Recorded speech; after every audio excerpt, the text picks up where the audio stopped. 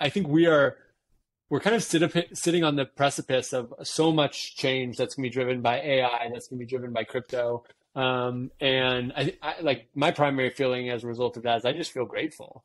Like what a cool moment in yeah. history for all of us to be here. All right. Uh, thank you, everyone. Uh, it's great to be here with Jesse. Um, so uh, let's dive into it. Thank you so much for taking the time again. Um, just you know, let's go over a little bit of your background. You've been uh, in Coinbase for a little bit of time. You've yeah. been the director of engineering and senior director of engineering for uh, for the retail part. So that means you know Coinbase and Coinbase Pro. And recently, you're leading uh, the protocols team, right? Yep. Can you talk a little bit more about your background inside Coinbase? Yep. Yep. So I I joined Coinbase in 2017, very beginning of 2017, uh, and the way I actually came into Coinbase uh, was through an acquihire. Um, uh, that, that's what happens when you start a startup and it doesn't work, and then people say, "Hey, we don't want to buy your startup, but we think you're talented, and so you should come work with us."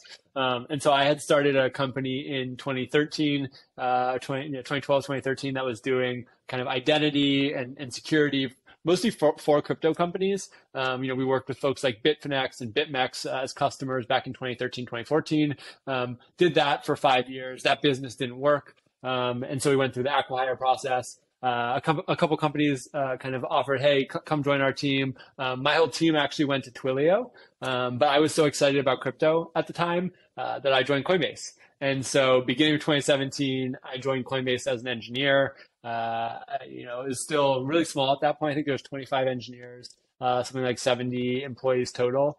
Um, and then the next four and a half years, I basically um, kind of got to ride the rocket ship. So a few months in, I uh, transitioned from being an engineer to managing a team of engineers. You know, at the time it was like four or five engineers building Coinbase.com and the APIs that powered Coinbase.com. And then over the next four and a half years, um, it, you know, went from four to five people to 10 people to 20 people to 40 people to 80 people to 120 people to 200 people. Um, and my kind of scope expanded from you know, the web and backend to include mobile Coinbase.com, and then to include Coinbase Pro, and then to include kind of all of Coinbase and Coinbase Wallet um, until I was kind of responsible on the engineering side for uh, kind of all of our consumer products. And then, kind of middle end of 2021, I uh, basically said, "Hey, like this has been awesome. I've learned so much, but at this phase in my career, I uh, I want to go deeper into crypto. Like I feel like you know uh, I'm now managing a, a, lot of teams, a lot of people, which is really exciting. But I want to be at the kind of like ground level, thinking about what is the kind of core protocol innovation that we need in order to enable the next wave of utility and the next wave of adoption that would bring us from you know small millions of people using crypto to billions of people all around the world using crypto um, and so uh, took a little time off to reflect on that and then came back and took up that mantle at the company. And so, starting at the kind of end of 2021, I, uh, you know, first with a really small team, basically said, okay, my job now is to figure out how do we bring Coinbase on chain, um, and how do we move our business from being this kind of centralized, custodial, off-chain product that was started in 2012 before smart contracts existed, before Ethereum existed, um, and has you know grown into this incredible business but it's still very much of that off-chain world.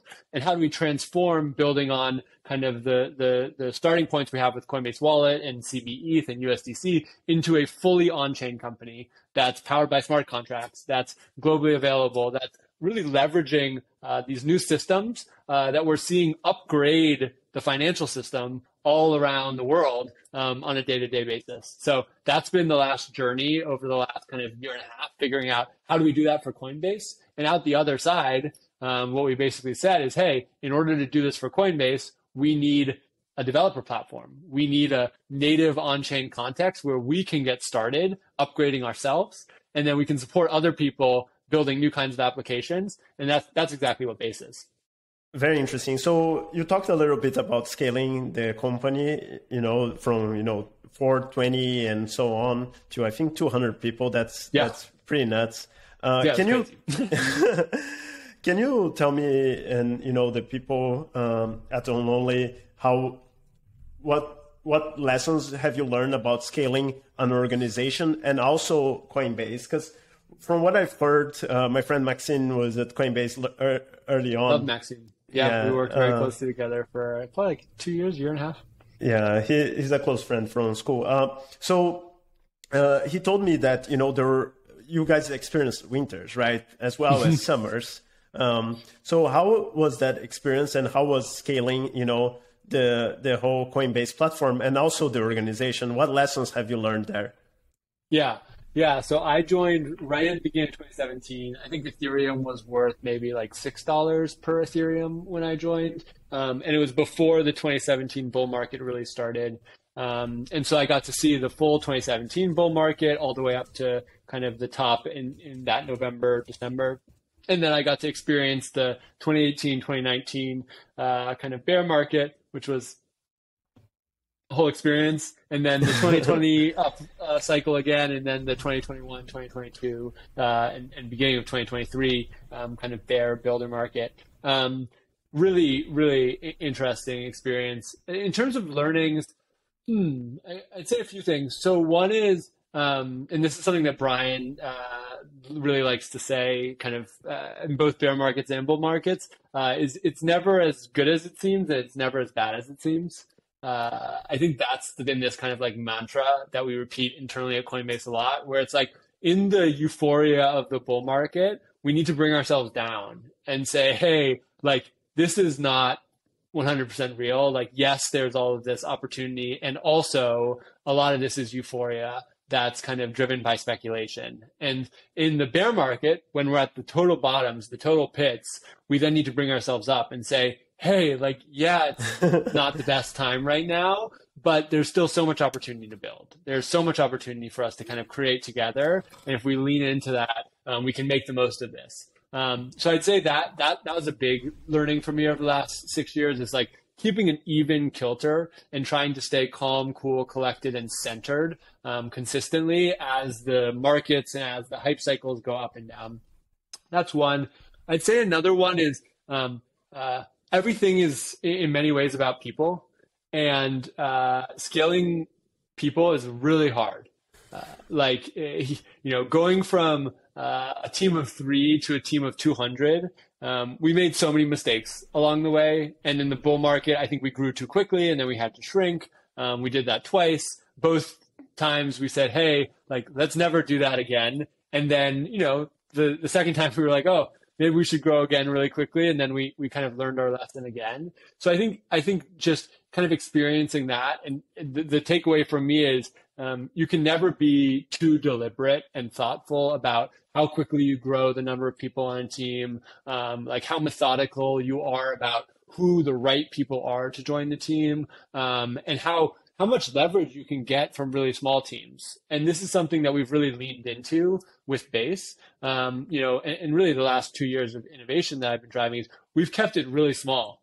Um, and we've kind of had a, a focused core team that's been just hustling to try and figure out how do we make as much impact with as few people as possible. And I think the thing that's really made that possible is um, kind of the leverage and power you can get from building on chain, um, from writing smart contracts, from building in this new way. I really think that people are, can be 10 times more impactful. And, and that's what we've seen with Base, and it's what we're seeing with builders who are building on Base. Um, is that they can keep their teams really lean. Um, I think Farcaster is another great example of this, where they, they built a whole Twitter product and I think they have like four engineers right now. Uniswap built the whole exchange, the first version with one person. Um, and so I, I, think that's been a big takeaway for me the last six years of like both you can grow too fast and it's really, it can be really uh, hard and, and, and, and, and kind of counterproductive. And in this new world, you don't have as much need to do that because these systems give you so much leverage to kind of build uh, with a small number of people. Yeah, that's super interesting. I, I think Balaji was saying, I, I, didn't confirm with Maxine, but USDC, I mean, the product built on Coinbase were just two people. And as you mentioned, Uniswap, uh, it's kind of crazy. You're, they're running, you know, this exchange, decentralized exchange, and uh, like it's not only AWS, it's on Ethereum, right? And and yeah. and it's kind of nuts that you know you have so much volume, so much volume. It's like one of the fastest, if not the fastest, exchange uh, growth stories in whole in the whole history of the you know 100% and i was just looking at the chat that unlonely was built by one person it's like literally yeah. one person built this but because they were building on chain they could just use connect your wallet instead of having to build a whole massive complex identity system um, like there's all these efficiencies that you get when you build on chain um, and I think like this is kind of going to be the next generation of companies, the next generation of applications are going to lean into this, and they're going to be able to have literally ten times the impact um, that they would have had, you know, with a much smaller number of people. Yeah, that's great. And also, people were man- mentioning ChatGPT. I personally got a lot of um, uh, efficiency gains by using it. You know, by using these chatbots, and like I, I think crypto is another place where we can see a lot of leverage with these smart contracts because you don't necessarily need a backend, right? Like Ethereum yep. might be the biggest competitor to AWS that they, I mean, I, I think they're, they're going to coexist, but like, you know, you're running this computing platform uh, that you don't necessarily, you know, you don't necessarily need to contract. Uh, people pay for it. Um, 100%. Yeah, going on, on, on that point of chat, I, I'm now using Chat GPT every day. Like Same, literally, it, so much leverage, uh, so much opportunity to just you know have it solve things that previously I would spend hours solving. Um, I I think we are we're kind of sit sitting on the precipice of so much change that's going to be driven by AI, that's going to be driven by crypto. Um, and I, I, like my primary feeling as a result of that is I just feel grateful. Like what a cool moment in yeah. history for all of us to be here, getting to build together uh, and kind of uh, create this new create these new systems upgrade the old systems with things that are 10x more efficient uh, 10x more globally available 10x cheaper um, that is what more could we ask for in terms of what we get to do day to day? Yeah I, i'm also very optimistic and I, I think crypto will have like I, I mean i wrote a book about ai uh, but i like i spent a lot of time thinking about this stuff but i think crypto is going to have a higher impact in society because you know like money is really really important and these computing platforms like like ethereum and whatnot will have a lot of impact. So let's move on uh, to to protocols and people were talking about this in the chat and they asked a little bit they were also really glad that you know we're building on the bear market now it i mean we're getting back to you know ethereum and whatever i call this the price. builder market it's the builder you go to bear market, then you go to builder market when the builders know what's going on, but the rest of the world doesn't quite know, and yeah. then we go full bull market. So builder spring. So let's talk about the builder market then. Um, can you talk a little bit more about you know how protocols fit into Coinbase overall? Like why why is Coinbase going there, and why why is Coinbase investing in that area?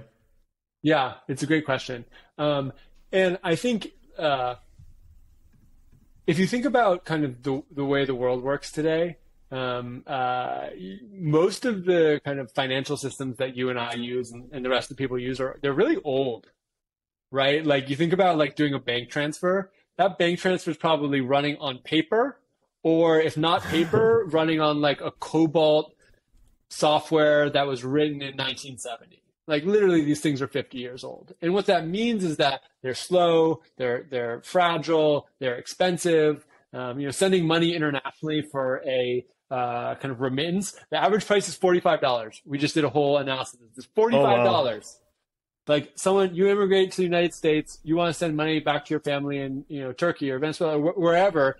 It costs you forty-five dollars to send that money. That's a huge chunk of whatever money you're sending. And that's because these systems are old. It's because they've been um, kind of filled with middlemen who are taking cuts, uh, and they have all this fragility that means that they're you know expensive and, and, and they break when people try and use them.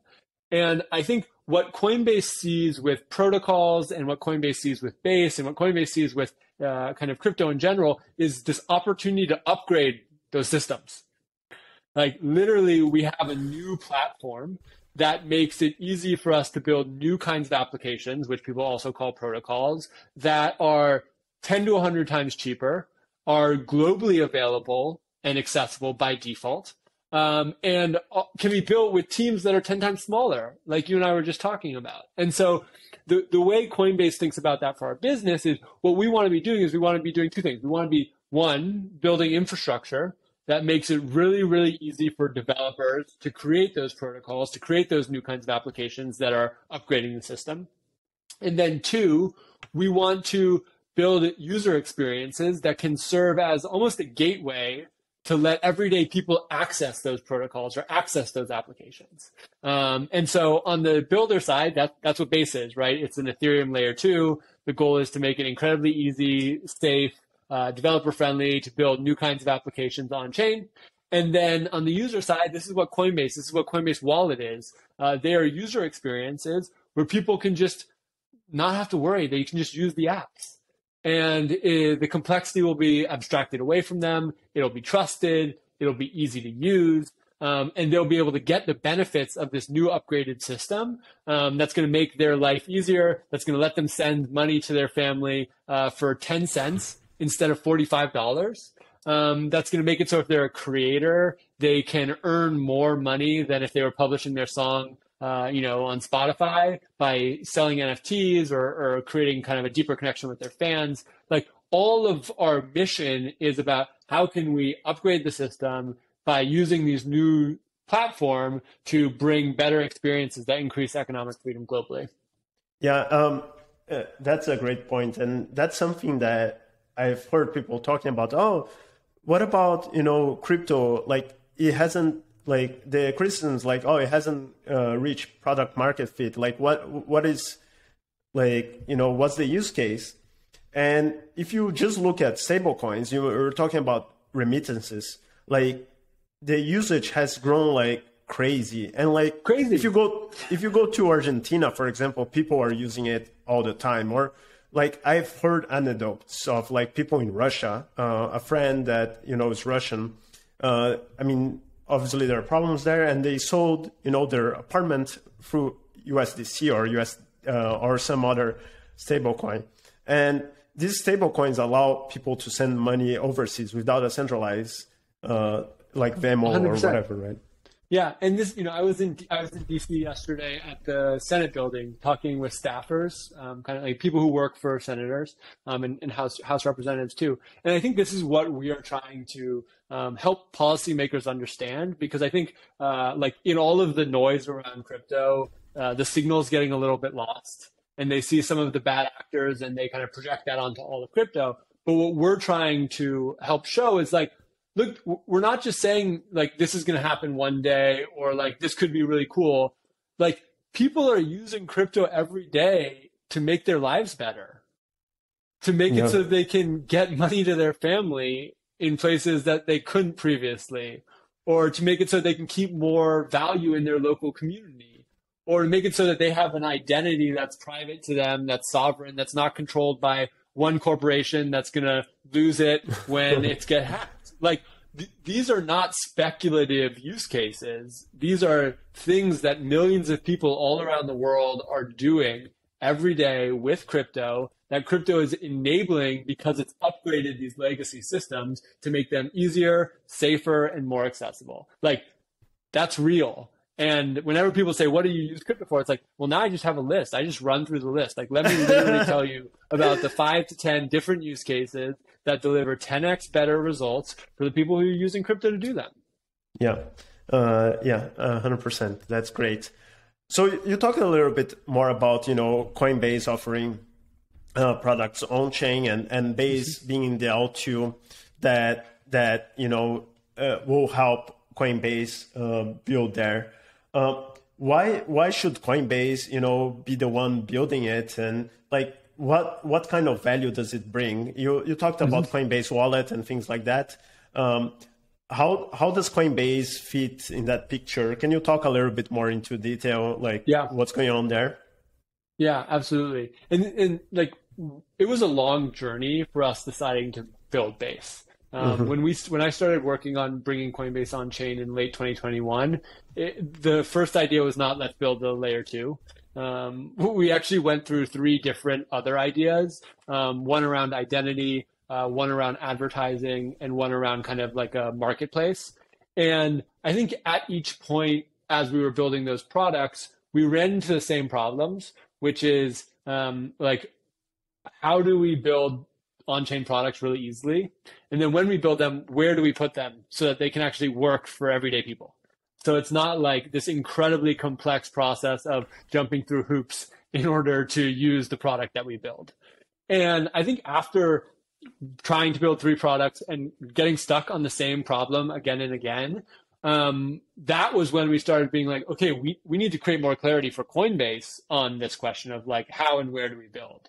And so in the first half of 2022, we kind of aligned the whole business to we're going to build on Ethereum, we're going to write EVM, um, and we think L2 is going to be the place where these applications scale, you know, and they can reach billions of people. Um, and then the second half of uh, 2022, we then did a bunch of more research, a bunch more exploration, and said, oh, like L2 isn't just going to be one thing. There's going to be many layer twos. There's going to be many chains that kind of work together to scale Ethereum. And in that world, if Coinbase can put our resources into helping with that, and put our resources into kind of creating uh, a context where we can make it easier for our internal developers and external developers to build. And then I think most importantly, connect that into our user experiences in Coinbase and Coinbase Wallet. That's going to be a huge contribution to the industry. And there's a bunch of complexity around that. And we want to make sure we do it in the right way. And that's why, you know, we've committed to Base being open source and decentralized, built on the open, open source OP stack. Um, uh, that that's why we you know stay basis for everyone, and we're working to make it totally global. You know, having a Fortune 500 centralized uh, business uh, launch a decentralized layer two that that's a complex thing, but we we think that there's a, a very clear path that we're doing that's going to uh, bring you know the next billion people into the crypto economy, and they'll come from off chain. They'll come through Coinbase and Coinbase Wallet onto Base, but then we're going to support them to go everywhere. Um, and this is another big value for us this idea of kind of base as a bridge, not an island, um, where we don't want people to get stuck on base. We want base to be a stepping stone for them to explore the broader crypto economy. And so when I think about kind of what Coinbase is bringing here with base and why we're doing this, that's it.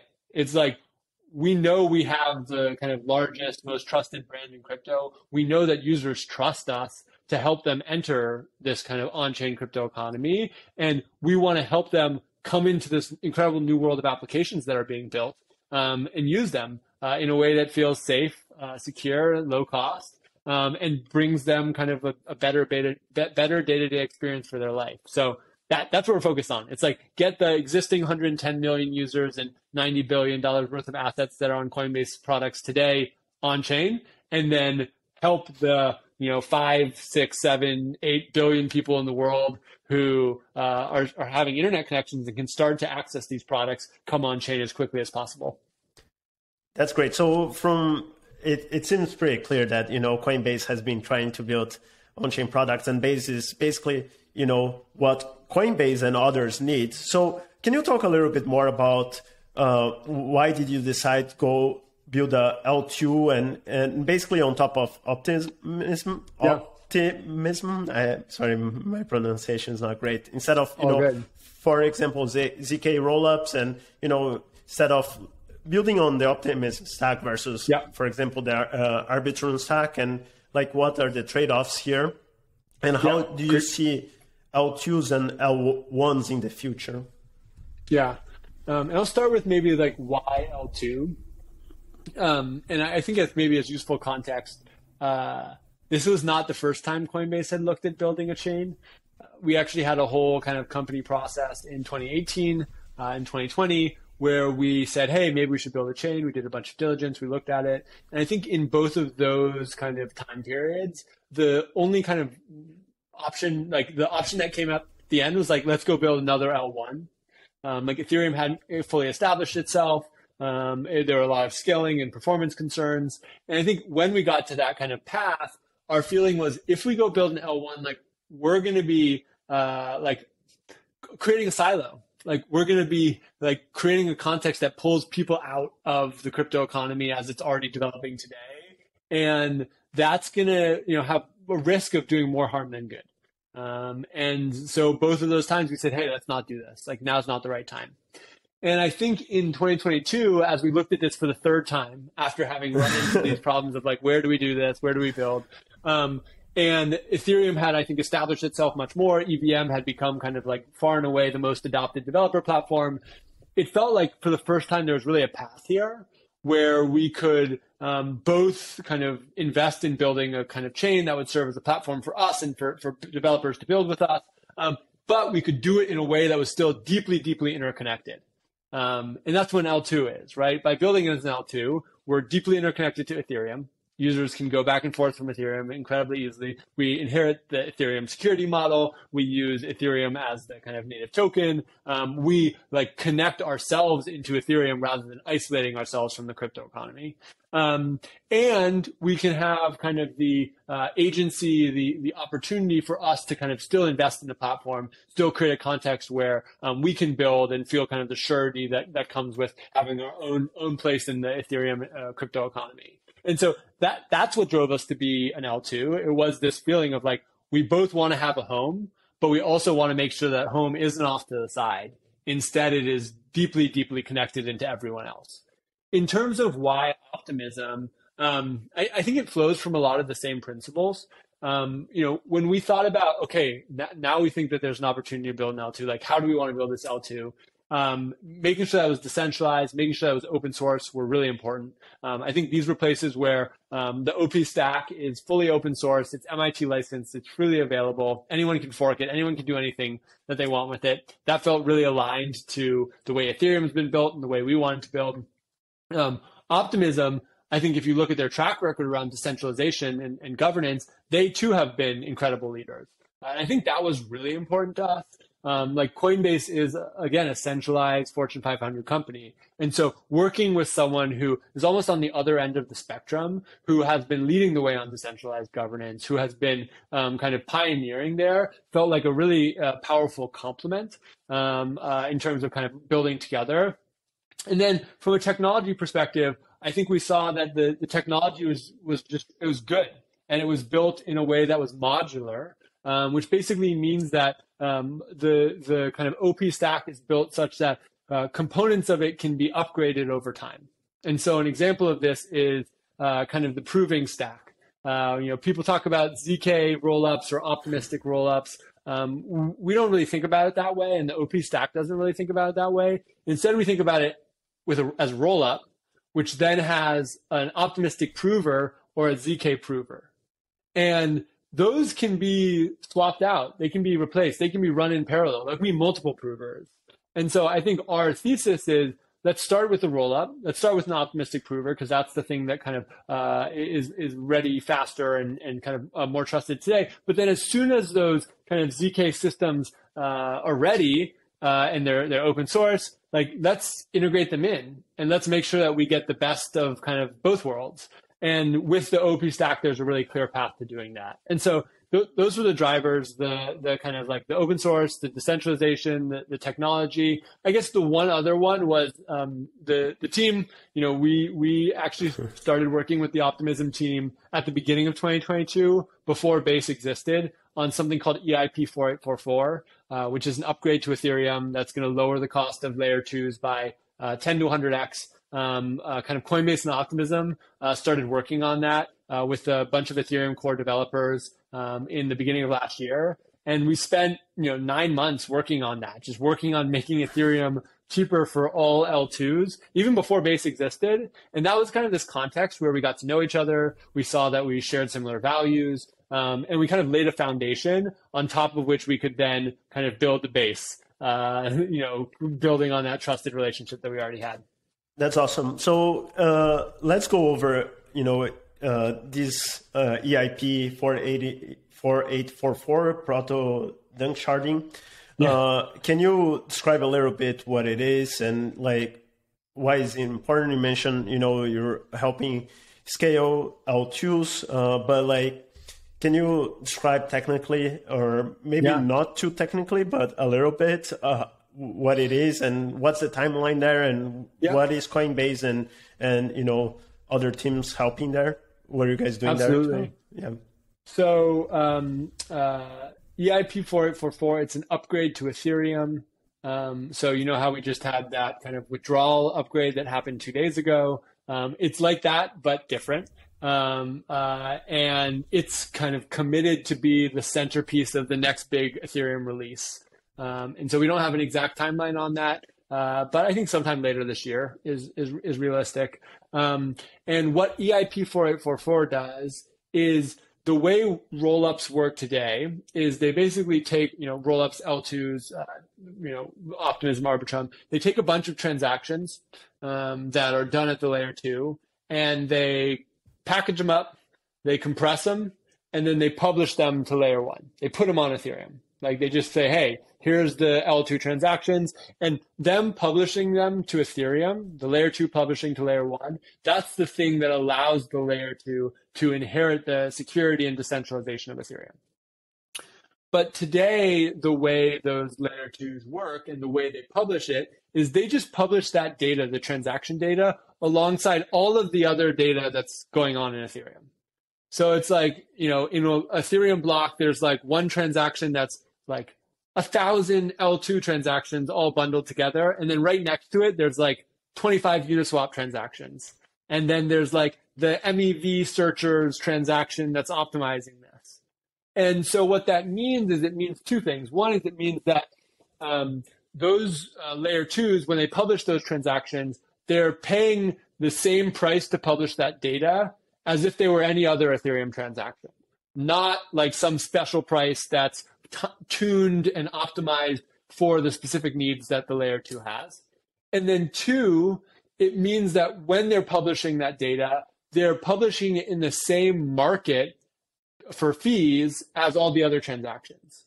And so let's say there's a really big price spike on Ethereum, uh, and there's a ton of other demand for transactions on Ethereum because people are trading and arbitraging and doing whatever. That's going to drive up the price of the layer two rollup publication because they're going to have to compete with the Uniswap transaction and the MEV searcher transaction. All of them are basically competing in the same market. And so what if what EIP 4844 does is it basically says, hey, we know that these kind of roll up transactions are a very specific type of transaction. Uh, and we can create a new kind of what's called data availability for them, like mm-hmm. a new mm-hmm. way of storing them in Ethereum, which we call blob space, B L O B S P A C E, blob space. Um, and we can do two things with that. One is we can more finely tune the pricing for that storage because rollups have different characteristics. So, for example, we don't actually need to store all of the rollup data in the blockchain for in perpetuity. So we only store it for two weeks. And then we store like a little commitment of the data in perpetuity, which allows us to reference it as necessary. So that means that from a kind of uh, state and state growth perspective and an impact to network perspective, it's much lower because now we're only storing this data for two weeks, which means it's like a fixed impact um, on kind of the storage that node operators need.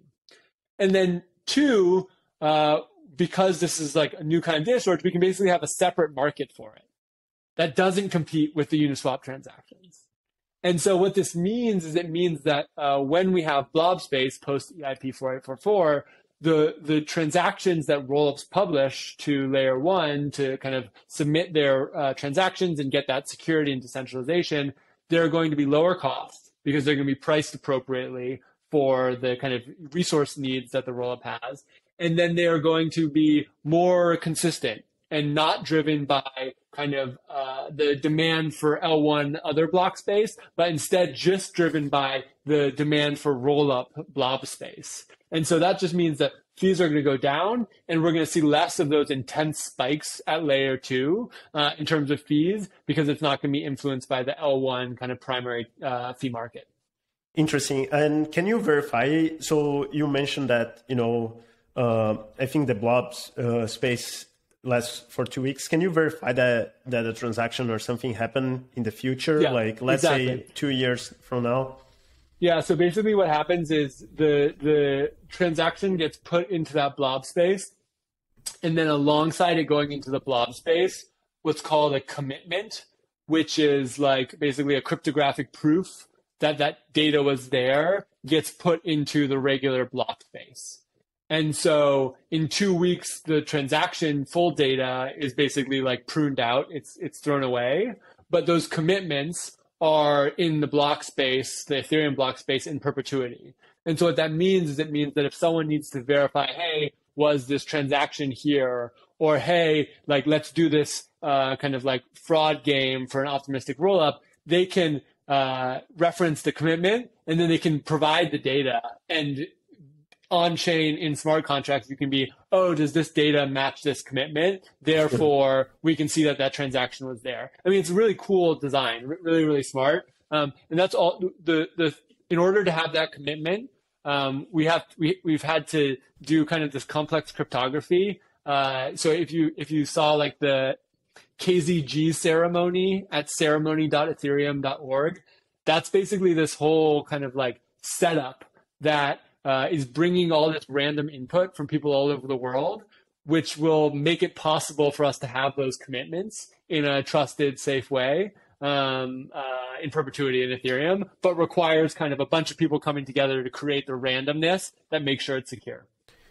That that that makes a lot of sense. Uh, so, I mean, obviously, you are all starting to work uh, on Base, and you know this is definitely an ongoing effort, and it's just the start.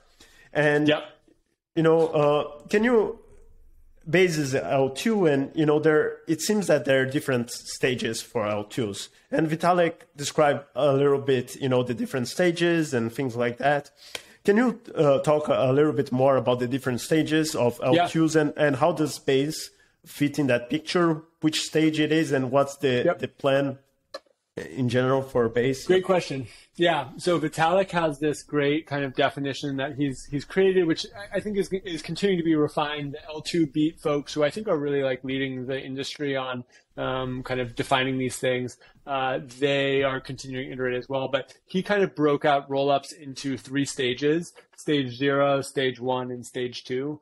Um, and stage two rollup is like this rollup has the same kind of decentralization and, and security characteristics as Ethereum. Like we could basically think about it as a pure extension of Ethereum. Um, and you achieve that by having kind of uh, really, really decentralized uh, kind of uh, upgradability for the smart contracts, um, having uh, verifier approvers on the network that are live and, and really hardened, uh, potentially multiple of them, um, and, and, and minimizing the number of kind of training wheels uh, or kind of safeguards that could be kind of leveraged if something went wrong in that role rollup. And rollups are going to get to stage two basically as they mature. So the more the more they mature, the more kind of the technology evolves, the, the, the further they're going to progress towards stage two. Stage one is like there's some training wheels, but they're they're minimal. And then stage zero is like there's a lot of training wheels. and where base is going to start, you know, like uh, kind of a lot of the rollups in the market today, is it's going to start at stage zero. Um, this year, uh, we have a line of sight to progressing it to stage one. And then next year, uh, we think there's a path to getting into stage two. And so that means that, you know, at the beginning, uh, you know, we're not going to be 100% uh, all the way at the stage two.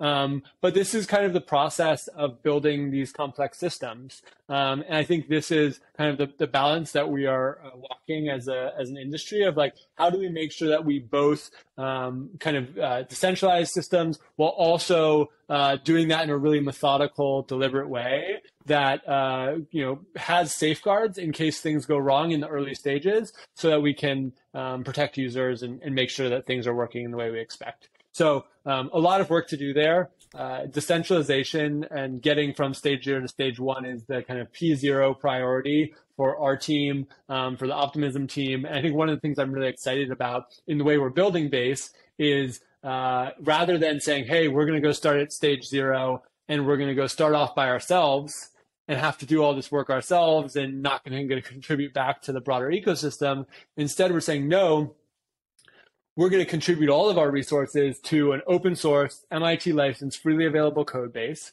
which means that as we contribute to it, we're going to accelerate the work that's already happening there. We're going to take the Coinbase and Base engineers and put them alongside the Optimism engineers. And when those results come through by the, the stack becoming more decentralized, more secure, those results, you know, th- those benefits aren't just going to accrue to Coinbase and Base. They're also going to, you know, uh, go to Optimism mainnet. Uh, and they're going to go to all of the rollups that are built on Caldera. You know, there's, uh, you know, every day I feel like I see a new rollup that is launching on the OP stack. Uh, like literally every day, it feels like I see a tweet about it. And we are basically investing our resources in making it so that all of those rollups are decentralized um, and secure, uh, rather than Coinbase kind of or Base just kind of siloing that and taking that for ourselves. Interesting. So, I mean, you talked a little bit about decentralization, and I think that's you know something that uh, people are talking about in the one-way chat. Like, um, there was like the OFAC case with you know Tornado and Cash, which I think uh, Coinbase is is actually uh, uh, you know taking action to help help out developers and help help out uh, yeah. torna- uh, Tornado. Um, but how how do you prevent in the future that you know that situation how can you move towards decentralization and you know like what's what's the goal so you i mean you talk uh, uh, the fact that you know base is is in the stage zero. And i imagine like a bunch of l2s are in the same stage. Like how do we move yes. towards there? And you know like what's what's the roadmap there? And what's the thinking uh, there? Yeah absolutely. Great question. Um, and, and before i get into the base side I, I, think it's just worth kind of like doubling down on what you said around Coinbase's work. Um, we, you know, we, we just submitted an amicus brief, uh, or I don't know whether it was an amicus brief or it was actually the first component of the, the suit, but um, uh, working with a bunch of plaintiffs, plaintiffs, we're basically bringing to court um, that we think that the OFAC ruling around um, Tornado Cash or the OFAC decision or, uh, to add Tornado Cash to the sanctions list is unconstitutional. Um, and there's like, you know, you can go look at our chief legal officer, Paul Grewal. You know, I think he has like five or six different reasons it's unconstitutional, uh, including the fact that, um, you know, you, you can't sanction a piece of software. Uh, that, that's like saying, hey, we're going to sanction a book. Uh, and like anyone who interacts or reads with that book is, uh, you know, going to be violating the law here. And so um, I think our kind of North Star here is we believe that privacy um, uh, and we believe that the right to run um, kind of open source software, those are constitutional rights. And Coinbase will um, stand up for and defend those constitutional rights um, uh, in an environment where there's regulatory uncertainty. And I, I think, like, importantly, you don't just see us doing that with Tornado Cash. I think if you look at our track record kind of across the board on these things, if you look at how we've talked about Ethereum and staking and validators, um, uh, we, have been really consistent. Uh, we've said we believe that running uh, open source software is a constitutional right, and we're going to continue standing up for that, um, continue defending that right. And so that that's kind of where Coinbase is coming from. Uh, like we believe in decentralization, we believe in open source. We're going to continue advocating for that. How that applies to Base, um, uh, kind of we talked about base is going to start as a stage zero roll up it's going to progress to stage one really quickly and, and then stage two. Uh, our intention is for base to remain fully open and permissionless um, that's uh, a complex challenge, uh, but one that we feel like we are well suited to, um, and one that we feel like we have built a track record uh, standing up for over the last few years, and we will continue building the track record in the years ahead, um, uh, standing up for as well. And so, uh, like, we're going to let our actions speak for themselves uh, as we bring base to mainnet. Um, and as we continue to champion the open, uh, uh, accessible, global on-chain economy that we've been working to build over the last like 12, 13 years. That's awesome. So I guess uh, what you basically mentioned is that like that's the goal of Base to be more decentralized as other L2s, right? And yep. and and the EIP 4844 is just part of it, right? Like you're helping 100%. other other L2s and that's the goal of Ethereum as well, right? Like to become more and more decentralized. Um, yeah, and, and, I think importantly, like EIP four eight four four, we've been we we started working on that before Base existed because we oh. felt L, all L twos needed to get cheaper, and we're continuing to work on it while Base exists. Still, because we think all L twos need to get cheaper. And I think this is our like thesis: is it's not just going to be Base. Like we don't want it to be Ethereum and then Base and that's it we believe that there's going to be a bunch of these layer twos, a bunch of these rollups, layer threes, uh, just thousands of chains that are all going to work together collectively to scale Ethereum. Kind of like there are thousands of ISPs um, and thousands of internet providers who all work together to scale the internet. Um, I think we're at this early stage of the infrastructure where that is um, uh, still really visible to most people, but I think we're pretty quickly moving towards a world where um, a lot of this is going to be kind of abstracted away from the everyday person, but behind the scenes, you're going to have tons and tons of systems that are working together to, to kind of scale the on chain economy. Uh, sounds good. Um, so, I mean, uh, another part of it that, I mean, uh, that's a question that comes from me. Like, why, why not, you know, Solana? Like, you know, uh, and one part of Solana that I, I, I think I understand is the fact that you know they use these uh, verifiable delay functions to basically sync the clocks of you know. Um, yeah. Uh, why are there uh, Ethereum L2s that are using uh, this system? Why why is that not being uh, brought up into Ethereum, and why why build on top of Ethereum instead of uh, you know Solana or whatever or other yep. um, L1s? Um, I mean, you talked a little bit about EVM, but can you yeah talk about yeah, this? As can well? absolutely go into that. And and uh, I will say I I, I am a Solana user. I've uh, I'm like gonna get the Solana phone just to try it out, experiment with it. I need a new Android phone anyways.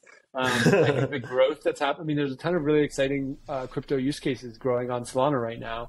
Um, if you look at things like Hivemapper, um, that's kind of mapping uh, like huge amounts of the the kind of roadway in the United States and globally. Um, Helium. Uh, so a big fan of Solana uh, and uh, excited to work with them to scale the crypto economy. You know, it's not just going to be Ethereum, it's not just going to be Base, uh, it's going to be all of these things working together to kind of bring about the, the, this upgrade of the system that we're trying to do.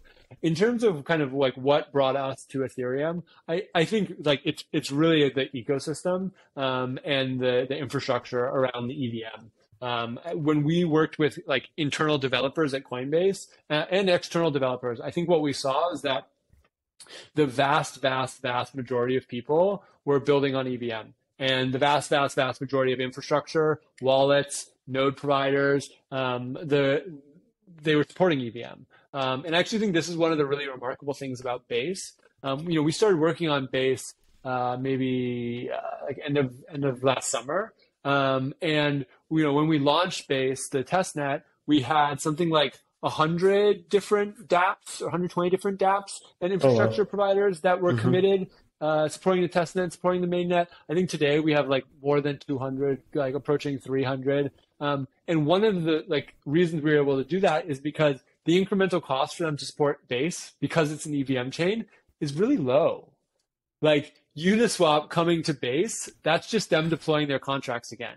Versus if we were saying, hey, you know, we're building a new L1 with its own VM, um, or even like we're, we're using the Solana VM. Like we would get access to the Solana ecosystem of apps, but the ecosystem of EVM apps today, from a TVL perspective, from a, user perspective, from an app perspective, is just it, it's ten times bigger. And so I think that was really the thing that brought us to Ethereum, helped us decide to build an Ethereum L2 was the the growth of the ecosystem um, that uh, you know made it possible for us to hit the ground running uh, without having to restart everything from scratch. I think one of the one of the like analogies that I, I think a lot about here is um, kind of JavaScript uh, and kind of the rise and and, and uh, stickiness of JavaScript as the platform of the internet. Like there are a million things that are bad about JavaScript. And you know there were literally probably decades uh, where people were like, JavaScript's never going to stay on browsers. Um, it's going to get replaced. People are going to use other languages, and then it's just stuck because there was this flywheel that started, this ecosystem that built, and it got stronger and stronger and stronger and stronger. And what people figured out how to do is they figured out, okay, like how do we incrementally upgrade and incrementally improve this JavaScript technology? And that's what's led to today, you know, TypeScript and uh, like all of this infrastructure that we built around JavaScript that has then worked its way back into the language and made it better and better and better over time.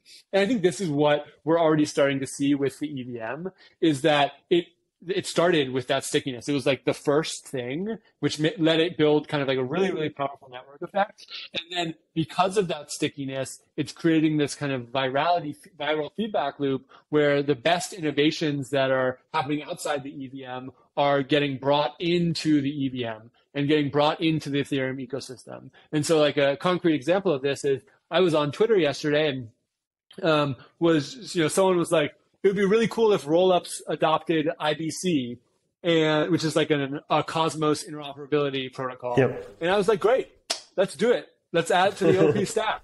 And that's totally possible. Like, there's nothing proprietary about uh, IBC. There's nothing to say that it couldn't integrate with EVM or the OP stack. It's all possible. And I think that the EVM and Ethereum and, and layer twos and increasingly the OP stack, they're just becoming this Schelling point where everything's going to plug into it. And so there may be other ecosystems, but they're all going to kind of connect into Ethereum, which is going to give it the most access. And, and that's that's where we wanted to build Base because it felt like the, the logical place for Coinbase to have a hub, which could then, of course, connect to everything else because Base is not a, a island; it's a bridge.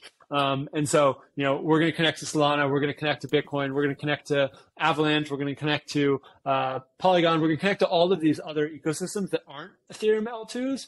Um, but like Ethereum uh, felt like the right place to start. Yeah, I agree 100%. And I tweeted back then, I'm like, Ethereum is the new JavaScript because like everything is being built. I mean, if you look at it like JavaScript, you can like I, I build everything in JavaScript right now from the server, you know, to right. to the application. And like I mean JavaScript has such a developer ecosystem and it seems like Ethereum is like the same way but in the crypto land. Uh, so let's go over, you know, uh, why why should developers choose Base, right? Like why like if if I'm building a new app, why should I build you know on top of Base? You you mentioned that's like really really easy. So if you yep. have it on uh, uh, on the Ethereum uh, L1, it's you basically have the same contract but just deploy to Base. But what are the other benefits?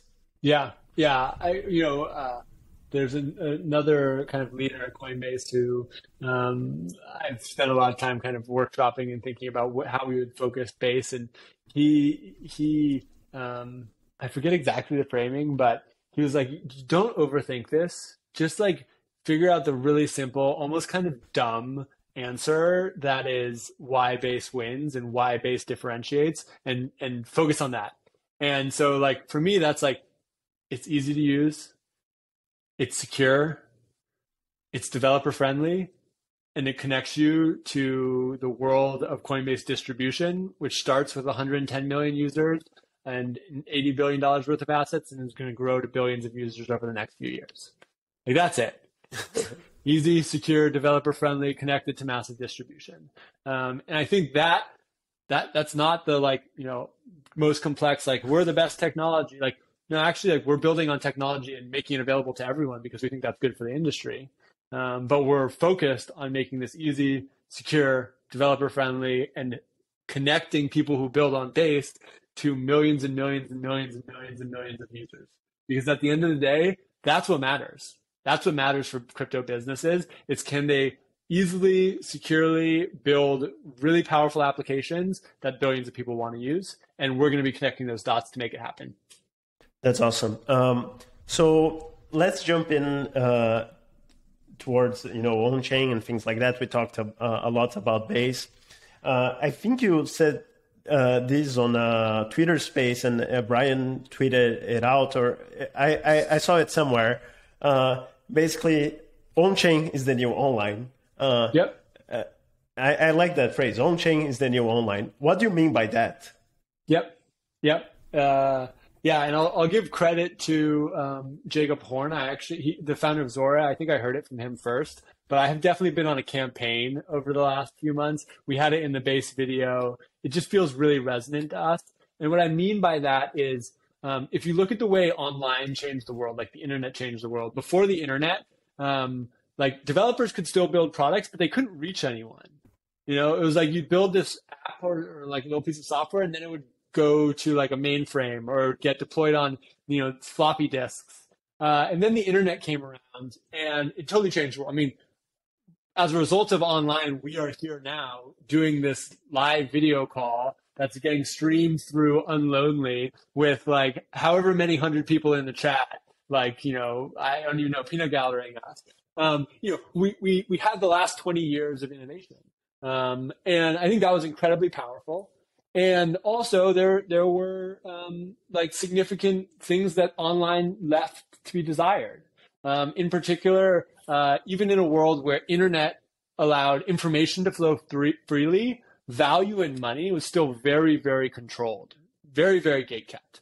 It's like if you wanted to do anything with value, you had to like work with the banks, or you had to like be in your country and your country only, and you couldn't build anything that anyone else in the world could use. And if you wanted to build online, like you had to give your data to these businesses. Like you would only work in a centralized way where all the data got pooled and extracted and leaked, and uh, you know that, that's not a good thing. And I think our thesis is that we are kind of on the precipice of a similar transformation of the world that happened with the internet. But instead of the internet, it's crypto. And instead of online, it's on chain. Um, and that in this new on chain world, we have all of the benefits of the internet, that free flowing uh, flow of information. And for the first time, we have free flows of value and money. We have the ability for people to build applications with value and money that anyone anywhere in the world can access. Um, and we have uh, like a, a, level of sovereignty in the way these systems can be built that allows people to keep control of their data, keep control of their information, keep control of their lives, their money, every part of it, um, and not give that up to centralized actors. And we think that that's we think that's going to change the world. Like there's there's no other way of saying it. We think that like in the late 90s, early 2000s, all the way through now, every single part of our world is going to come on chain. It's going to be transformed. It's going to be transformed for the better it's going to lead to more economic freedom globally. Uh, it's going to lead to better product experiences. It's going to lead to happier people.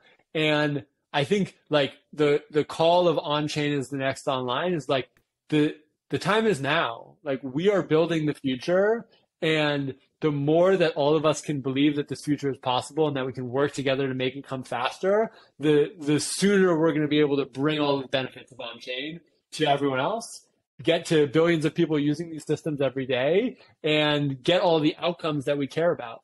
So it's it it really you know we've we've been releasing ads on this. It's like we are upgrading the system again. We did it once with the internet. now let's do it again with crypto. And this time, let's go get the worst experiences that all of us deal with every day, which are the banks, which are these movements of money, which is our broken identity systems, and let's upgrade them to be better for everyone to use. Yeah, that's awesome. Uh, that makes a lot of sense.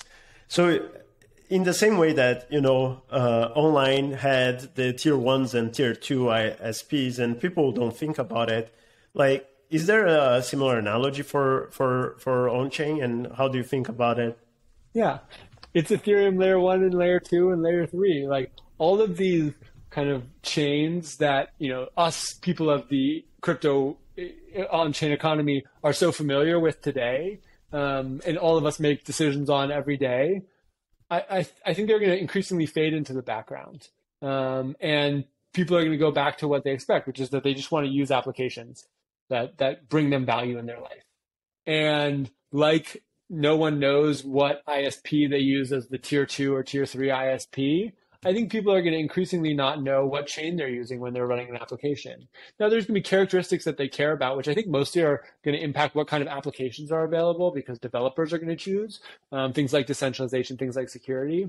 But for the everyday user, I think they're just going to run the apps and it's just going to work. And so I think we still have a little bit more infrastructure to um, build in order to make that possible. But that's that's definitely the world we're heading to. It's a world where um, users just use products that they love and the infrastructure complexity is, is abstracted away from them.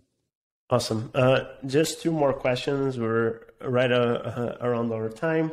Um, so, I mean, you talked about decentralization, how developers will, will choose um, different, you know, chains uh, because of decentralization. Why, like, the, how much does the decentralization matter to users? Like, mm-hmm. for example, Argentina uh, they they used to use or they use Binance Smart Chain, uh, and yeah. you know got, it gathered a lot of popularity, and it's not as much decentralized. So the question is like, how much does it matter? Or I mean, maybe the question is when does it matter? Because it might yeah. not matter right now, but at some point it might matter a, t- a ton, right? Yeah. So, um, I th- I think it I think it matters a lot. I think it's worth fighting for. I also think it's worth recognizing that even if Binance Smart Chain is maybe more centralized than Ethereum, it's still much more decentralized than pretty much any financial system we've ever had before. Um, in that, like, uh, you can have a bunch of different exchanges that integrate with it, and you can have a bunch of different apps that build wallets for it. Like those are new novel properties that are uh, we're seeing users to- choose because it's delivering values. And I think like th- there's more better novel properties further down the decentralization spectrum, and that's where we're pushing with Ethereum and where we're pushing with Base. But I, I, I don't think we should discredit entirely the work that Binance Smart Chain has done. Um, I think that that said, uh, the the flip side of that is like users. I think they care about certain characteristics, um, uh, you know, like access, uh, like having the applications that they care about. Um, but uh, some of those drivers are like, is it cheap and is easy to use? I think this is something that Binance has done really well. They've made it cheap and they've made it easy to use. I think today, um, Ethereum L2s, Ethereum L1s, they're not cheap and they're not easy to use. And so I think we're like, we, we kind of look at Binance to be like, wow, what if we made it as Binance Smart Chain? What if we made it as easy and cheap for people to use Binance Smart Chain, but instead of being in a more centralized context, it was it was fully decentralized and it was powered by Ethereum. Like, wouldn't wouldn't that be powerful? Uh, wouldn't you know bring more applications and more use cases and give users an even better experience? But in order to unlock that, we need to provide that low cost experience that's easy to use. And this, this is what Coinbase has been doing for the last decade. And I'm I'm just really excited for us to kind of enter the next era where we get to apply that same Coinbase ethos of being the most trusted, being the easiest to use, to this new on-chain context where it feels so um, needed in order to reach the next billion people and bring them on-chain. That's awesome.